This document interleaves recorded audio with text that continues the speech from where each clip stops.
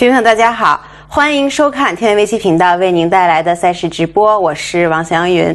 今天为您带来的是2020年三星杯世界围棋大师赛的三十二强对局。那么今天呢，两位对手呢分别是韩国的李东勋九段对阵中国棋手柯洁九段。很荣幸，今天我们请到的讲棋嘉宾是丁烈老师。丁老师好，小云好，棋迷朋友们大家好。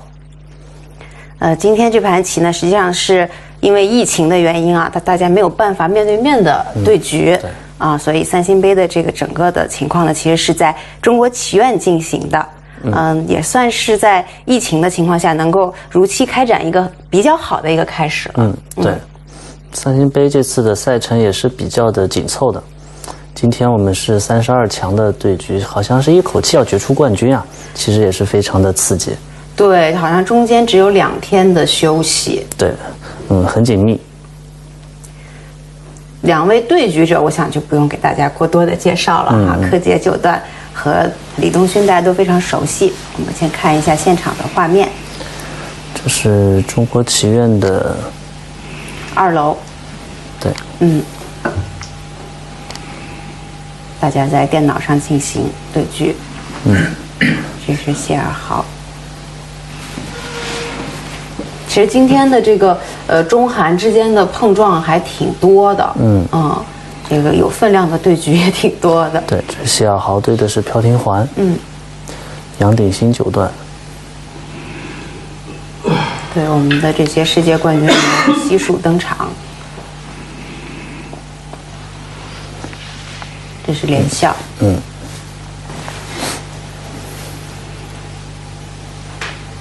很认真的对待这个对局。然后还有一些准备的零食啊，自带午餐嘛。是对，因为这比赛是上午十点钟开始下的，所以中间也没有午休，所以大家都自己准备了这个小小的点心。嗯，不过棋手们他们经验已经很丰富了，嗯，都可以根据自己的情况调整。顾子豪九段，对，这是顾子豪，他对阵的是日本的伊利辽，嗯嗯，唐伟星。我今天正好碰到他，然后他好像对自己今天有点不太满意，为啥？很有意思。啊，这个是李轩豪，嗯，李宣豪对的是李长浩九段，对，感觉很久很久没有见到李长浩九段了啊。三星杯，还有冠军，这个是他们的奖金。嗯啊，刚才还在那个沉浸在数那个零的当中，看好多零啊。对嗯。那丁老师，我们就开始吗？嗯啊好，先给大家介绍这个棋棋是。李东勋的黑棋，柯洁的白棋。嗯李东勋，我印象中是一位棋风偏稳健的棋手啊，好像相当的稳稳扎稳打的风格。对，应该说，呃，在韩国棋手里面，其实也属于是对中国棋手来说威胁比较大的对手。嗯，对，也是比较有实力的。当然，韩国棋手现在大家公认的呃威胁大的肯定是申真旭嘛，啊呃，朴廷桓，朴廷桓嗯，对，嗯这都很常见的。是。柯洁呢又是白棋，嗯啊柯洁，的他还是比较喜欢下白棋的。嗯，白棋胜率也很高啊。嗯，柯洁的白棋还是非常擅长的。走完之后，这个嗯，中国流的下法好像挺久不见了。对，但这也不能完全算中国流，就是反正拆一个边连个片。嗯，哎，我记得柯洁好像之前看联赛，他好像也走过中国流，就是是直黑这样吗？直黑，他好像一上来就走中国流，好像现在开始尝试一些，可能也也也算复古了。现在走走中国流属于不落俗套，就是 比较复古的以为东西了。是可能是会守，对对对嗯，或者守个高的，就是大家可能对这个已经看的很多了。对，然后这个我我有点疑惑，好像那个说胜率不是很好嘛？嗯，这这种地方电脑是推荐靠嘛？嗯，推荐这地方中国流的下法现在推荐往上靠，当然这个他们肯定都很熟了，研究的摆的也比较多。嗯这个棋谱当中也经常常见的，什么靠完再靠这个下法。对，就是从有了这个阿尔法 Go 之后啊，这个变变化就多对了。，大家这个现在对 AI 的训练这个研究还是比较透的。其实我，反正我是觉得都可以吧，胜率不是太好，也也差不了多少，能差零点几，关系也不大，我觉对得。，但是对于高手们来说，有的时候可能对是一种心情哈。对就是我能选稍微高一点的，我不愿意选。高手还是追求就是当前局面最佳的一手。嗯嗯，黑棋也是单关跳，收个角。是。刚才丁老师给大家介绍了李东勋的棋风还是比较稳嗯，健，比较稳。健，比较扎实，下的好像也挺慢的。嗯，那有有可能跟柯洁形成一个反差。对，柯洁棋好像挺快的，一直都挺快的。嗯嗯，点三三，还是来点三三。对，然后挡住。飞，是，还是顶，对，还是顶，顶完半。对比较，就是大家一看都比较正常吧，啊，普普通通。对，嗯。然后黑棋是拆了这个边，这是一个，也算是一个消长的一个点吧。嗯嗯，一个大场。不过挺久没有见过这种下法的了，丁。嗯，挺少的。现在感觉好像更积极啊。就是现在好像要么就是怎么在这边啊、呃就好像对于边的这个开拆已经相对来说弱一点。嗯嗯。对，海外这种小木现在靠上去这种比较常见。嗯，这种好像研究的多。对，但这种能感觉到还是挺符合李东勋的这个风格的啊，我觉得就是挺稳的嘛，感觉，确实很扎实。是，然后白棋是分头，分头在这个位置挺有意思啊，好像我看柯洁好几盘比赛，他都是走在这儿。都是这样的一个配置。就是对方如果是单关这个的话，他大概是这个位置。嗯，这个什么原因呢？嗯，应该是拿 AI 研究过吧？嗯，那因为这个如果普通棋友我们可能会觉得在这儿吧，因为两边都有拆二。对我们拆这儿应该是更好的一个分头点嘛。嗯，但拆这儿的话，很显然黑棋可能会逼这个。那就是我在低的还是高的？呃挺麻的，因为这地方的价值呃不像想象中，你你是拆个二，但这地方有点打架的感觉。将来黑棋搬了虎啊之类的，这地方的价值就没有想象中那么大。嗯，而且感觉上白棋不是特别情愿往这边走，这边的话黑的子儿还是比较厚实的。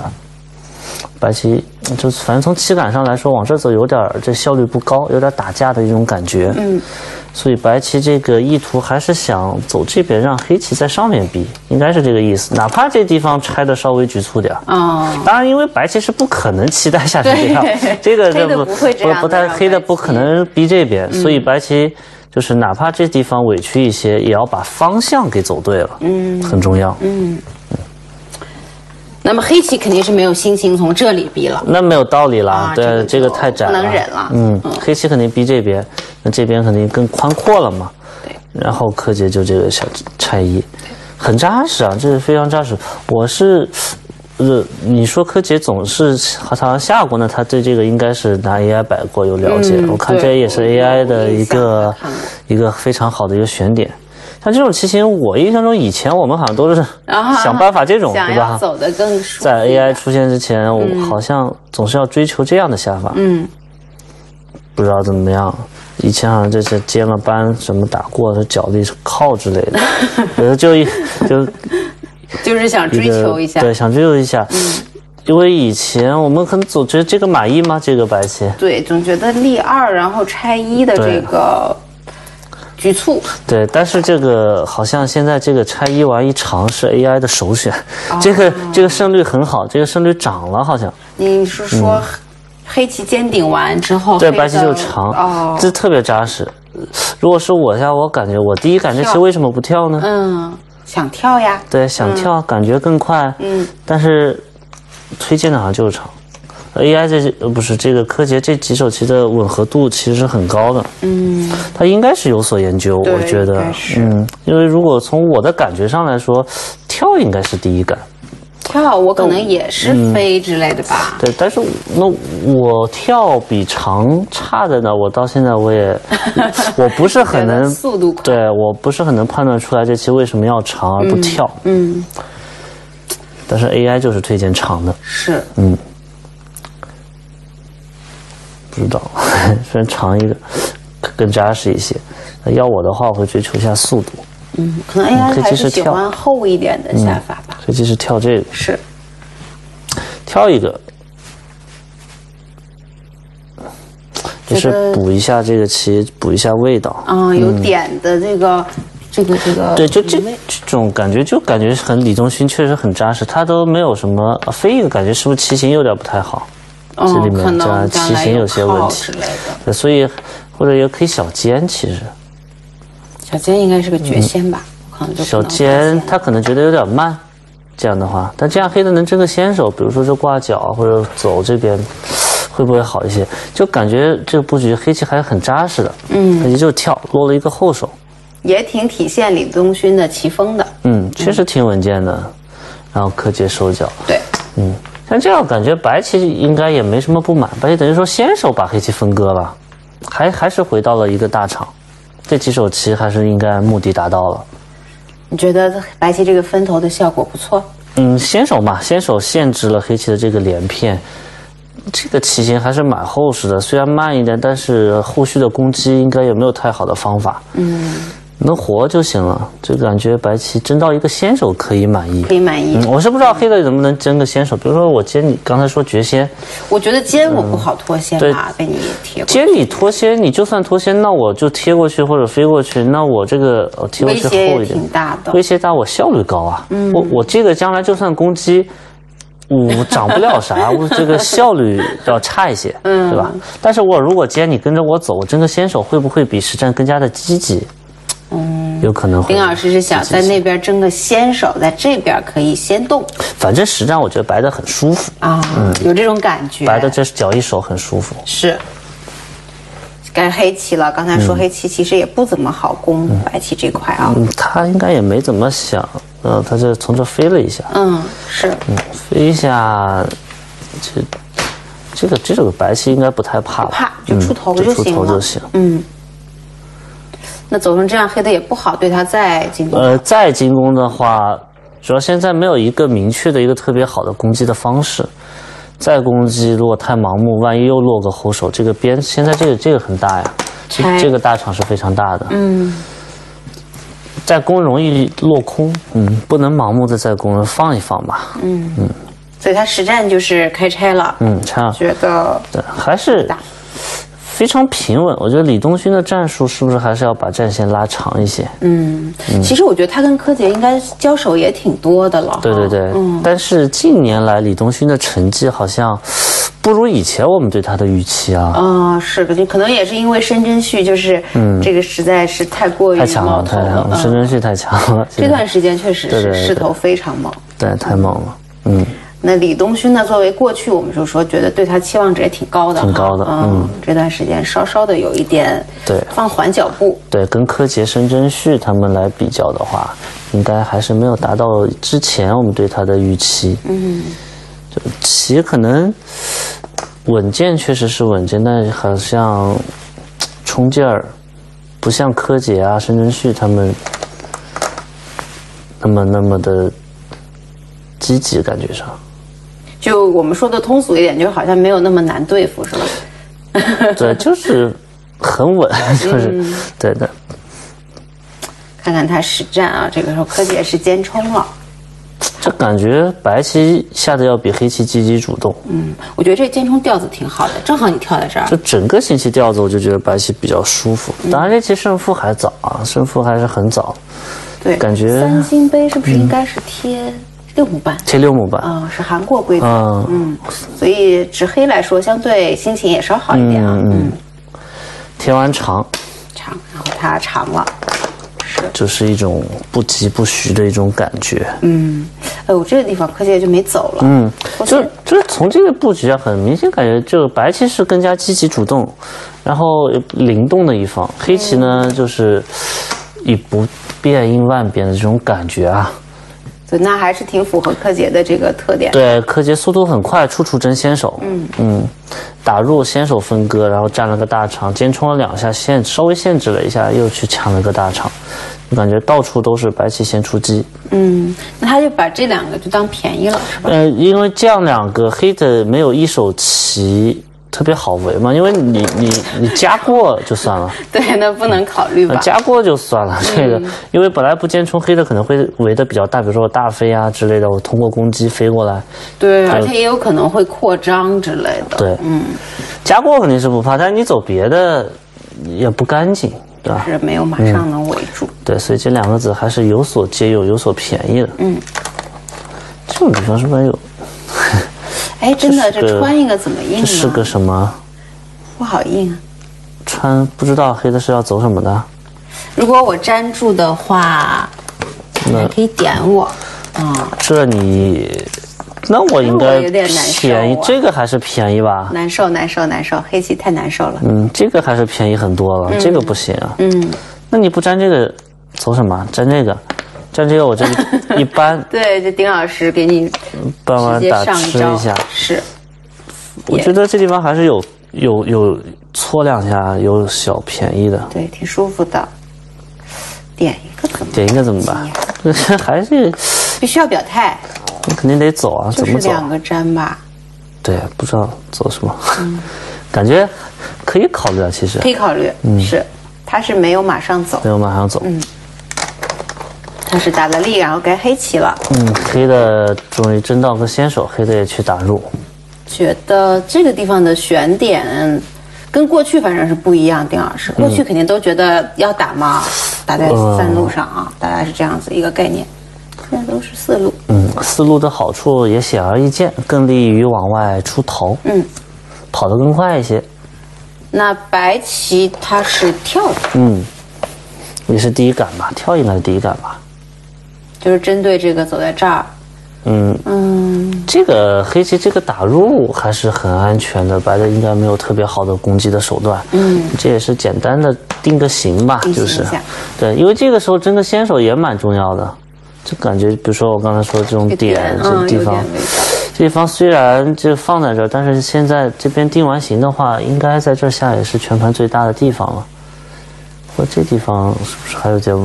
黑棋有些薄位，对我觉得那个二路被白棋立到以后，就是整个觉得黑的硬也不是，不硬也觉得 硬的话效率不高嘛，这地方还是蛮重复的。但是如果不硬，不硬的话，就感觉有点薄，这不是说有多少空的问题，就担心白棋有各种破坏，对打入的手段，自己变薄了，这有点麻烦，嗯。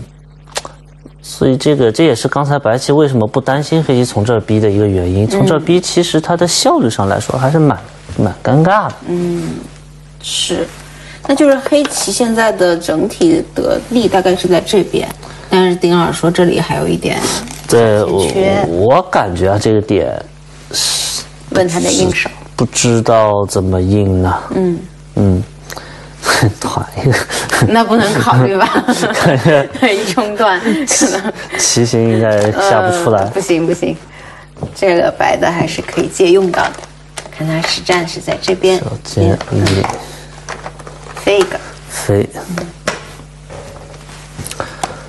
对，是出逃嘛，出头的一种方式。嗯，白棋点这个。柯洁的一种棋感，这个交换，其实我能够看到这道题的第一反应是，哎，就像那个 AI 经常会把一些先手就先走掉了，嗯，他觉得省得以后有变化。但是在人类棋手来看，是不是就是你没有好的下一手的时候也？不是因为他可能这个招棋跟他的后续的下法会有一定的关系。嗯，呃，晚走了，他不见得是先手，因为我们总觉得说要保留很多先手嘛。嗯，是因为那些先手，我们觉得暂时不走，之后走我们也来得及，也是先手的情况下，那我先保留一下。是，但像这种先手你不走，将来有可能生出变化。啊，来不及了意思就是说，有可能厚薄一旦变化了，对对，厚薄变化，你将来走别人就有反击了，所以现在走应该也是个时机，因为它是决定这个冲断是不可能了。啊，对，那这个方向是不太好对。，如果你现在冲断黑的就一直贴，在这没有意义，这太厚了，这地方没有价值。再说贴几个上面就越来越薄了。是所以在排除了这个先决条件的情况下呢，它也就不心疼了。但是不心疼这个走，而且将来如果走怕走不到，所以这个时机这么一想还是挺合适的。嗯，这样说的话，就是对于将来就可能作战的话，我先有一个帮手。对对对对对对那黑的肯定是贴了对，黑的贴挺厚的，嗯。然后白棋来八弯靠，也是一个常用的定型手段。是它这个定型手段，我是觉得跟这有一定关系。哦，那我们就看看接下来是什么样子。这个时候好像黑的不好去走这个把，方向不太好吧？是吧？就是如果吃的话，白棋就把这个是吃完之后，你打完应该也不敢发力，你还是得走定式吧。嗯，走定式的话，这地方不是成功的地方，因为这地方都漏风，所以这地方没有价值。嗯，不肯，不肯不肯把棋走到这边。不肯，这地方没价值，还是吃。对，然后白棋打吃，打吃它是提掉了吧？哦，打断打。断打，但是断哦打要战斗，提掉白棋一摘，那白棋局部这个定型还是得分了，一手棋封住了，嗯总是便宜的。嗯。那也就是说，黑棋其实呢不肯放过白棋。对，不肯放过。也就是说，不肯放过的话，那这地方不管将来怎么定型啊，都会形成战斗。只要是战斗，那这个点就是便宜的。你比如说，你现在来看，那你说先手，我现在来走，那不可走不到了 走不到了。就是我们说，有些先手，如果你现在刚才不走，来不及，这就是时机的问题。没错，这个是看明白了，这一下子教坏的，现在看呢就能理解他的能这一些理解了了，。它是跟那个有后续的呃联系的，嗯所以高手我们可以看到高柯洁想的还是比较的深远的。是的，走成这样了，开始这飞飞，好像不着急嘛，丁老师嗯，因为他觉得你没有什么手段，啊，我不能把你封起来吗？怎么封不好封，这棋就飞不下去啊，这棋。飞下去我粘虎都先什么粘一个先手，这棋冲断，哦，我已经死掉了，被你那挡不住了，挡不住了，这棋是飞不下去。去。如果你飞下去，白棋冲断，我们可以看一下外边的这个对杀。对，这个刚才这个子大放异彩。对，嗯，如果只有了这个子之后，现在一夹，好再夹住，就跑不了了。啊，死了。对，没有出路了。嗯。嗯，所以这个棋黑棋飞不下去，飞不下去，所以他好像不着急，明白，也就是说呢，他其实是想让你，比如这样交换那一下，便宜了。啊。嗯。交换一下便宜。满意了，对，所以黑的也没有特别，是提掉了哈，嗯，提掉，就相当于让你这个边后手，总是一手棋嘛，提掉。看白棋怎么走嗯了，白棋靠，应该第一杆吧，棋靠下来。靠了一个，嗯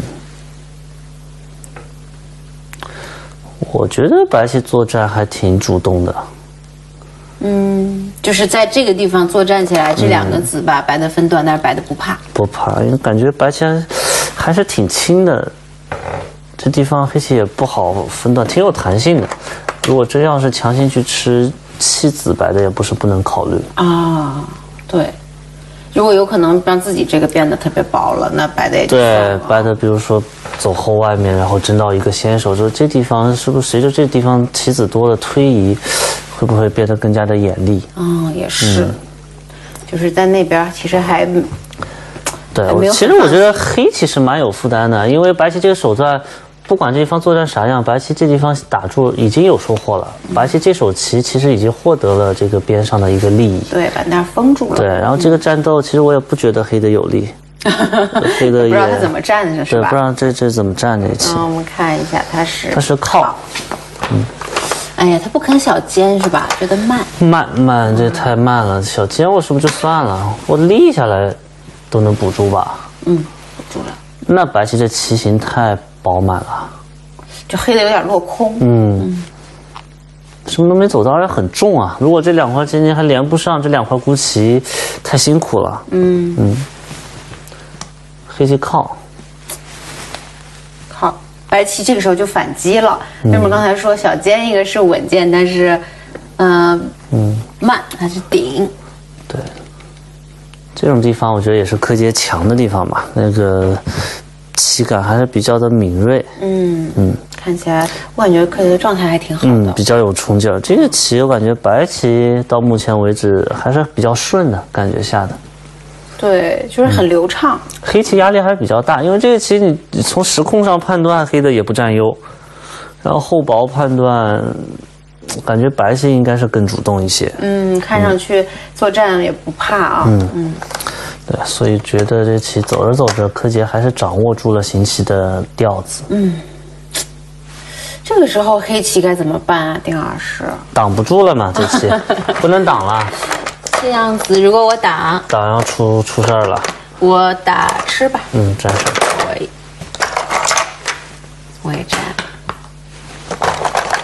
这棋紧紧紧的夹住啊。嗯，这夹死你。如果冲完打吃，这滚包。白的不是粘，是就打一个滚打包收。棋太紧了，黑的。嗯嗯，这死的还是非常清楚的。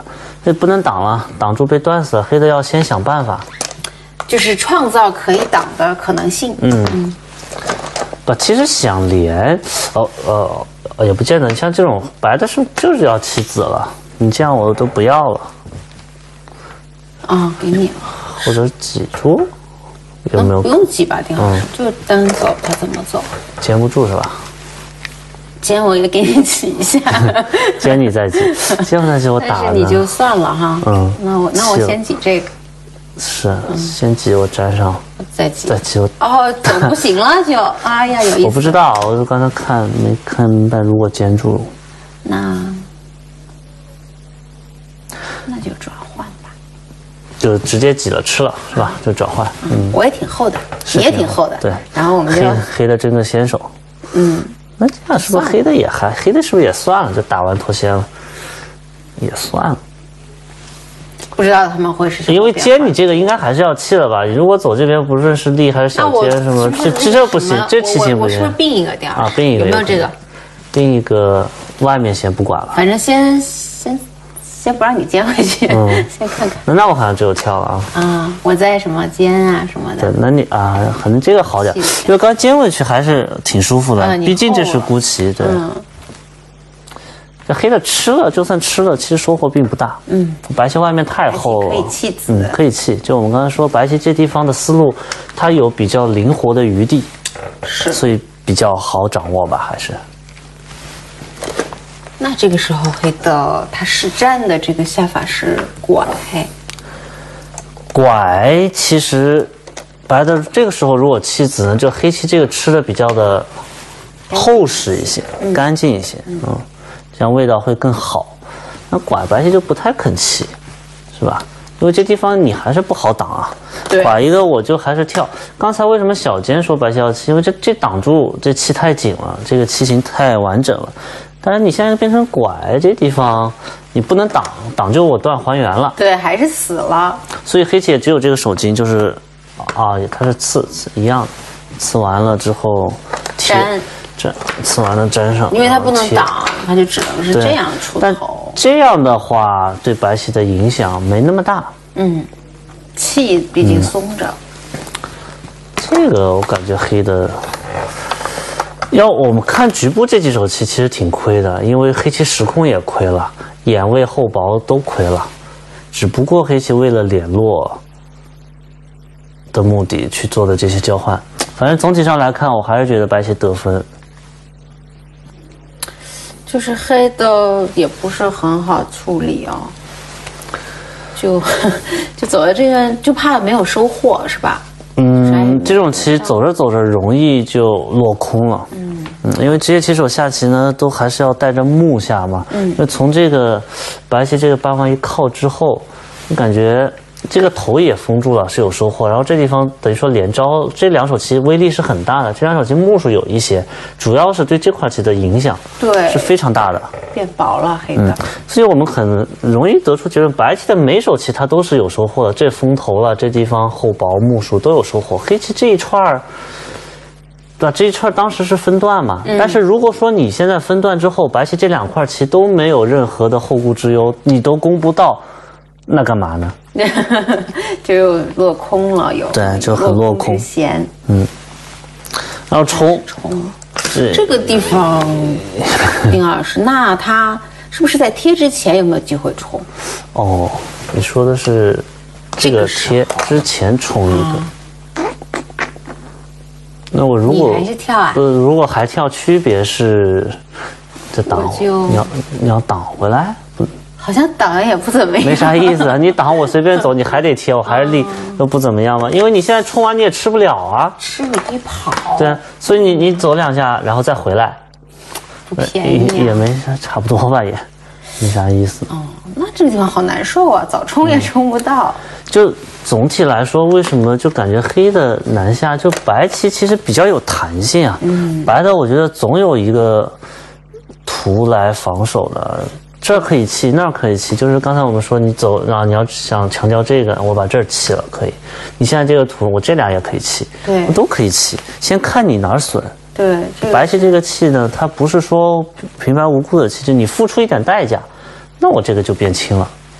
没错，这好像我觉得是挺符合柯洁这个灵动的气氛的，很灵动，嗯，很灵动，这个是下也是大局观嘛。我是觉得李东勋这棋下的就有点被柯洁给拿住了，有点像。那个就闷头下是吧？嗯啊，没有去环顾一下全局，那冲，白棋就跳，跳是整个感觉白棋就下的很流畅，嗯，很舒服。然后呢，黑棋冲，白棋又争到一个先手，对，就这个地方我就觉得好像这个黑的应该也挺郁闷的。嗯，就是高手啊，更下的更好的一方总是掌握着局面的主动。嗯，白棋这盘棋就感觉上处处都是白棋的先手。对，感觉柯洁状态非常好。嗯，白棋又争到一个先手去打入，这我们之前说黑这块棋的保卫其实慢慢体现出来了。对，这个地方其实是要有个交代的，对，打入。可能也是两个棋手的风格。李东勋呢就比较扎实，也所以下的也厚一点、慢一点，慢嗯，嗯这个感觉。柯洁就比较的灵动，对，嗯。当然，感觉上从棋的角度，我们更欣赏白棋的这种下法。嗯，其实胜率其实可能还早吧，但是胜负应该还是对，那这个不好说是太早了啊、只是说在这个过程里头，感觉到好像更容易，柯洁的这个特长更容易发挥。嗯很主动。白棋打入，黑棋他是小尖，丁老师，嗯，那不然走什么呢？不知道跳一个是骑行吗？跳一个，因为我肯定已经对你这个子，我不可能说吃掉你或者怎么样了啊。我只是想把自己的棋行走一走。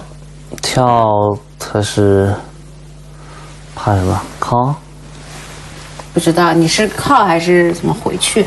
回去的话，我从哪边回去？我回去，呃，不小尖一下。那这样，如这样我是不是还可以啊？就这样回去了。黑的是不是不想让白棋从这儿回去啊？哦，他小尖想保持对这块棋的一种威胁，也是的，因为我可以允许你从这儿回去，因为从这儿回去本身也没价值，然后就只是单关联络。但是从这儿回去不一样，本身目数也大，然后还关系到眼位和厚薄。对这块一下子就他是不是有这个担担心啊？就是不太想让白棋从这儿拖过，因为小尖唯一的一个特别好的地方是防住了这个拖。嗯，跳的话很容易被对手拖过。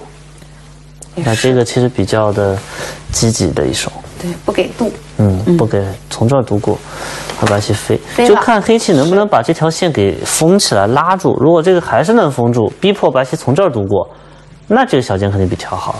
对嗯，对，看他怎么走。小尖，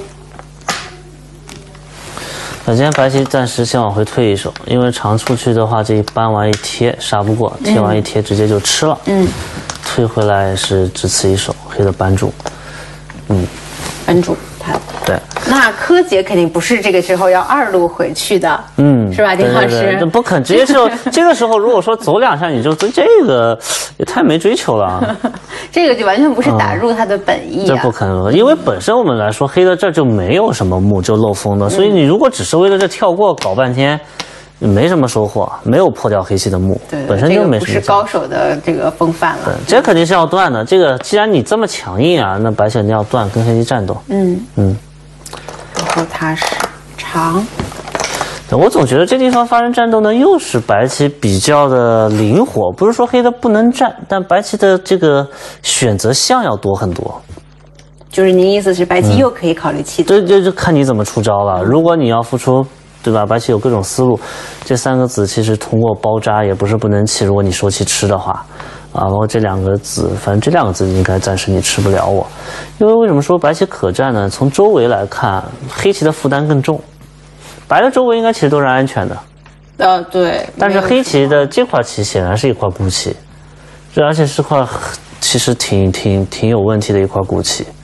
然后这块棋也没有完全安定嘛，白棋如果将来从这条线给你分断了，比如说走多了，我这中间一震，那这不是缠绕攻击了吗？嗯，白棋这种很多手段跟思路都可以来使出来，嗯，就感觉上周围的借用也是白棋要更多一些，所以我觉得白棋完全可战。这个还真是，如果黑棋被白棋就这样牵着鼻子走，可能也就、那这个时候黑的也只有硬着头皮往下走了，就战斗了嘛，也只能是继续强行的战斗。嗯，看看比比力量。嗯嗯，小尖，那这个也是挺紧凑的一手。对，就纠缠住。纠缠住啊黑的也是必须要寻找到白棋的一些麻烦。嗯，说松垮的这种跳，就是说主要是这种跳棋形，它就不太很奇怪，这地方的棋形对，这个、嗯，很松。对对没没有劲儿，就觉得。所以这个时候，不管这棋，呃，攻击到底谁有利，但是还是要去跟白棋掰掰手腕儿，而这个不能松懈。如果退一步，有可能直接就被白棋就给摁倒了。嗯，这时候要撑住，撑住，下的让白棋跳紧。凑一些。紧凑是紧凑，但是感觉上白棋还是主动的啊。丁老师还是很欣赏这个白棋的对对对，下法。我一直觉得白棋这下的流畅。嗯，是，然后他虎了，嗯，开始要用力了用力，这是小尖，这是黑棋之前欠的一个问题。啊。然后他就，这好像是一本道吧？我这个这没办法了。连连不上了。嗯，这这这样也算形成一个转换，是吧？是，嗯这个但是第一感啊，第一感这个把这个这吃了，比刚才拖过木薯还要好。啊，对，木薯肯定是多。所以从实际上来说，这个打入实际上的收获还是很明显的。嗯，就看外面黑棋能不能兑现什么。但是外面由于黑棋本身自身也不厚啊，我是觉得黑棋很难去有什么太大的收获吧。了解，就是他现在就像丁老师说的，白棋已经把这个现现金都拿走了。对你这个外围的外势能不能转换成就是这个兑现还不好说。可能值不了那么多钱，我是觉得。嗯这个 这个这个现下一金捞来手是嗯舒服。不舒服不舒服啊。然后它是这里，嗯，相当于把这个先给它隔开嗯嗯。隔开白棋就很清楚了，白棋这种跳，往这跳。其实这个点也挺好的，这一走这边越薄了。然后其实一是攻击嘛，二是联络嘛，然后就通过这局部的定型，我觉得黑棋很难在这有特别大收获。如果没什么收获的话，黑棋控是不够的。是黑棋在实地上一直处于这个亏损的状态。就走半天，其实从这个从白棋搬了靠之后，我们可以看到黑棋基本上就啥也没走到嘛，然后这地方空也被打了，就黑的没有什么枣木的地方，嗯白棋收获还是很大的。白棋把这个吃了，首先收获是巨大的。这底下其实这几分也是有收获的，嗯这都有收获。是，嗯嗯，黑棋得有点办法哈。但是这招是什么意思呢，丁老师？反正它有便宜嘛，这个将来我这个至少搬了吃，我舒服啊。哦，明白了，我得吃在这儿。啊，那我官子便宜啊。那总那本身就是个适应手嘛，你加嘛，反正我摆明了将来搬完吃先手，那就是你的了。目数便宜了。嗯，对，然后他现在是黑棋，对，它暂时保留着。来这个，来这个是不是有点急呢。嗯，那确实很麻。这其实他如果不主动的找寻找一些变化，正常下下去，我是觉得黑的可能这棋你就说差距很大吧，我觉得倒也没有，但总感觉黑的难下。我就是不知道职业棋手可能会有这种感觉啊，就很难下这个棋。就觉得不顺，嗯，不顺，就是每手其实都比较纠结。嗯，我们说有时候手顺下的很舒服的时候，就很清楚我的方向在哪，我局部的手段这个大小判断都很清楚。嗯，这个时候就每手棋都感觉走哪不是特别满意。比如说你说跳一个臭吗？跳一个应该也不是臭气吧？嗯，但这个我就这么下能行吗？这对，就也是。这地方我也没靠明白，这如果一靠呢？啊，你还要反击他吗？我感觉啊，我没看清楚这个。就是我那个段那边这个这个拐，你当我后手了是吧？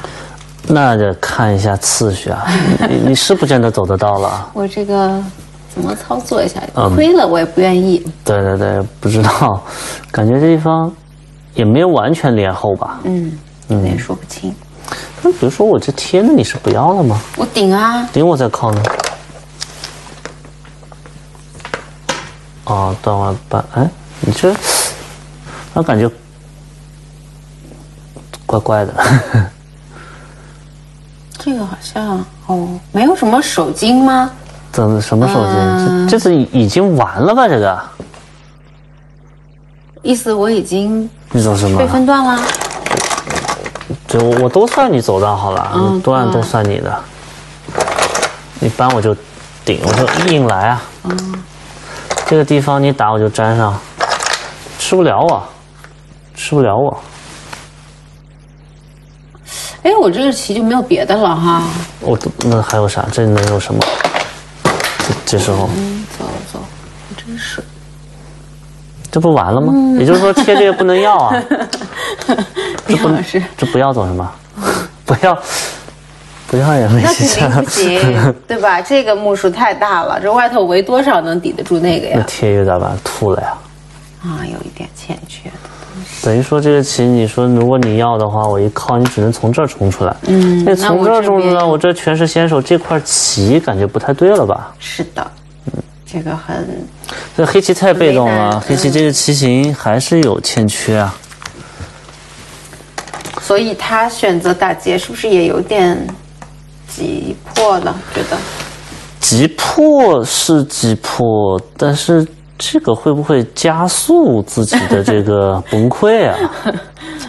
因为我也没有看出这个黑棋有资本来打劫的一个道理啊！啊，你说他的劫财是吗？那劫财都很纠结。你说是劫吧，很多东西好像也是劫。你比如说这个。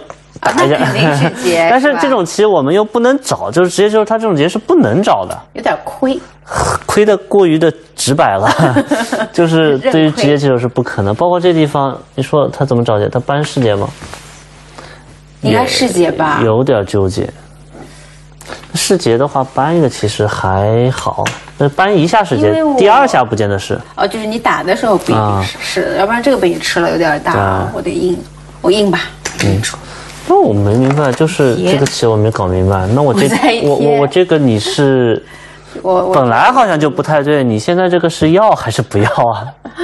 这打赢了我又怎么了？没什么太大的问题啊。嗯，对，就是打赢无非提掉嘛。提掉嘛，我又脱先，将来你打一个我就拐过好了。对，就是不是特别严重的。啊，他有个严重的问题是这个，别把这个金吞了，这打。哦，但它外面可以走两个啊，这这不对，走俩 主要你这你这全死了，不对吧？嗯，不知道，我是感觉劫黑的也不占理，嗯嗯，有一点着急啊，但也能理解呀，他确实他不着急的话不是特别好下，嗯，就这个棋如果就是可能拿 AI 来摆胜率。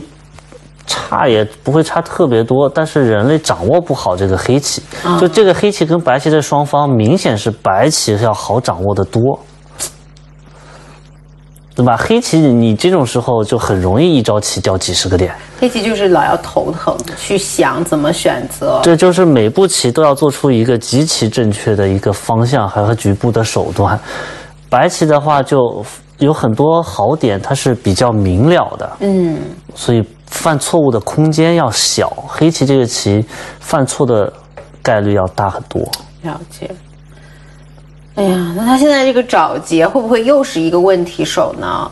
因为我们看到他实战的下法，大家看，嗯，他是这个，嗯，这是点，这想个让白的麻一下，麻是麻在哪，不像这种棋，第一感肯定看消解你要干嘛嘛，啊，你说白棋硬啊。粘住了，啊、哦，他他就是，是你让我麻，我不知道他麻在哪儿。白棋一看粘结，你这个我也没看明白这局部是个什么，你要把我怎么着？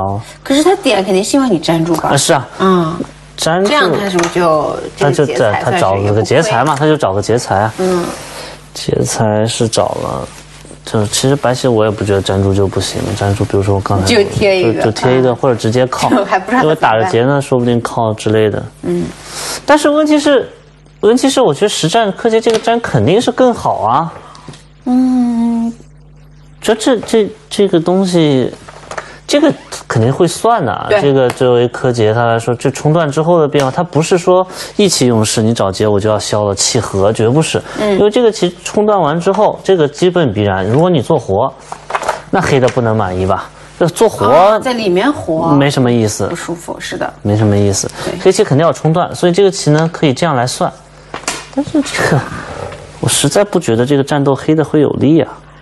啊，这样的，黑棋这把飞刀，也就是说飞刀走完之后，局部的战斗感觉上 黑的也很是凶险。受到了丁老师的质疑，觉得没什么好棋下。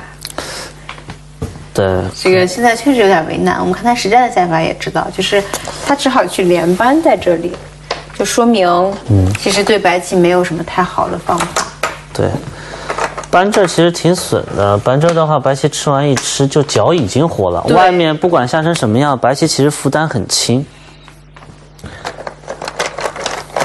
这还是挺舒服的白的。对但他不搬又没办法，你不能单拐，单拐的话我就粘上了，你这个就不对了有可。能杀不过。杀不过啊，嗯你如果立杀气，我一力你肯定杀不过，你搬张我这都活了，对，所以他这也是没有办法的一个次序，也是一种苦肉计。但是至少这样呢，白棋局部活完之后，白棋是没有负担的，白棋其实是蛮轻松的。他是打了贴，使出了强手吧？呃，也只能这么下了，那局部也看不到别的变化。因为这个时候如果你粘这个或者提这个，其实都不行。对，嗯，这个都是两点白棋必得其一了。嗯，因为粘上我拐过去，这头出不去了，对，就被封住，它只能贴。只能贴。这都是必然的，过在这白棋是个地方不能冲。不能冲，嗯。嗯，冲不下来嘛，冲下来之后这个看上去好像可以走。这有，一个搂包，对，黑棋被搂完之后挡住，白棋杀气是不利的。不能冲呢，我不要冲这一下，要不然的话多一个力的话，对我这啊，边对对对对，这胁。死活差特别多，嗯所以就直接冲。这个变化图，我相信柯洁在消劫的时候就看好了。这种计算看上去手术是不少，但是对柯洁他们这水平来说，啊、都在这个计划之内。对应该是白棋胸有成竹的一个变化。嗯我们看看他，黑的这个时候也不能，是不是也不能松劲儿啊？在，只能搬吧，搬？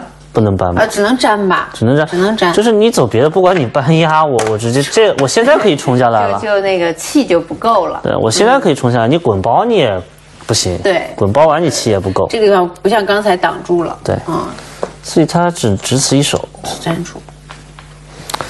接下来拐，搬，正好这地方就是正好，看上去黑棋这子儿很多啊，好像白棋这个生存环境比较的凶险，嗯但正好能够出头。嗯 就是我现在这个看上去嗯一滚包，这实战就这么下的，也是一个这个黑棋局部，它就这样，看上去白棋相当的委屈啊，这被黑棋滚包，主要这再一打，打成了一个大饼，一个大饼，感觉上很委屈。但问题是，白棋这个委屈归委屈，走完之后黑棋自己碎了呀。